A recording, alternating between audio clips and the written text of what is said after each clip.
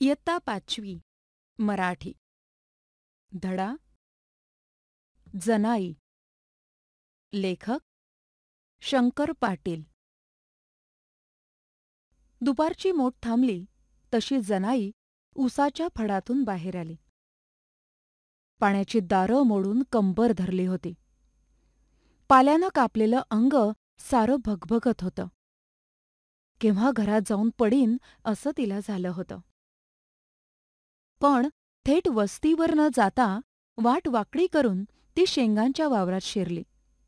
आज सोमवार. दोन वेल उपटून घ्यावेत. पोरंही चार शेंगा खातील आणि आपल्याही पोटाला जरा आधार होईल म्हणून लगा लगा ती शेंगांच्या वावरात आली. नी भुल्ल्यागत बघत उभी राहिली.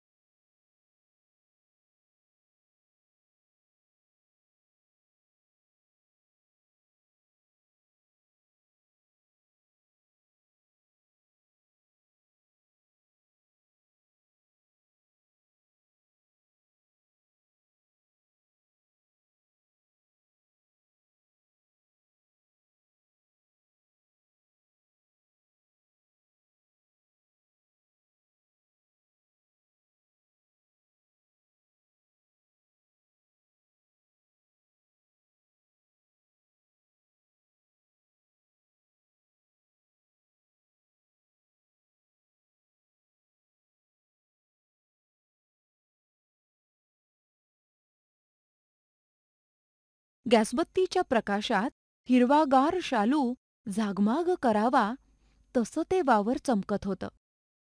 वर ऊन असलं तरी खाली गार वाटत होतं.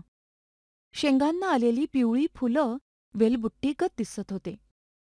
हिरव्या पिवळ्या रेशमी धाग्यांचा एक रुमालच खाली विणला होता. रात्रंदिवस घाम गाळून आपल्या हातांनी काढलेल्या त्या कशिद्याकडे बघत जनाई थोडा वेळ उभी राहिली. आणि एकाएकी एक विमान चालल्याचा आवाज कानावर येऊ लागला. भर दुपारची वेळ आणि रॉ रॉ रॉ करून आवाज कानावर येऊ लागला. अगं बाई विमान! म्हणून तिनं बघितलं.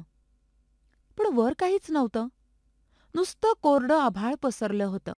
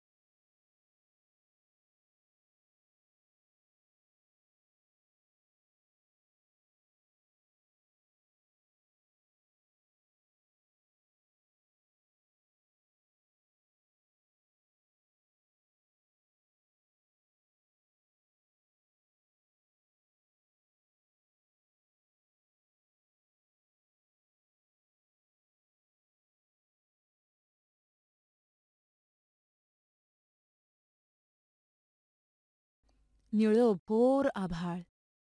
चिटपाखरू सुद्धा नव्हतं आणि रॉ रॉ रॉ असा आवाज केवढा कानावर येत होता? कुठून आवाज येतोय हे कळेना आणि झेंडू फुटल्यागत झाला. उभं राहायला नको म्हणून गडबडीनं वेल उपटायला खाली वाकली आणि विमान समोरून अंगावर आल्याचा भास झाला. खाली केलेली मान वर करून बघती तर समोरच्या चार काकरीचे बेल उलथे पालथे होत होते. भुईमुगाच्या आऱ्या वर उचलत होत्या आणि पायाखालची जमीन हादरा देत होती.